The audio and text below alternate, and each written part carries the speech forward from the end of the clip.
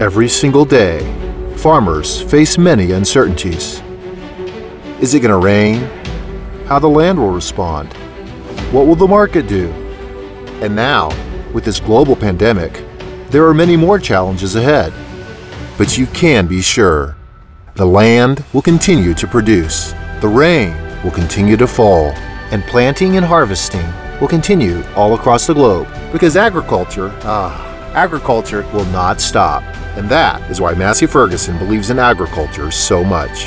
And during this crisis, we will continue supporting you with straightforward and dependable products, with straightforward and dependable services, with the parts and services that you need to keep your operations running, with flexible financing solutions to support your business needs, so that you can continue to produce with total peace of mind the food that people around the world need and getting prepared day after day to move the world forward.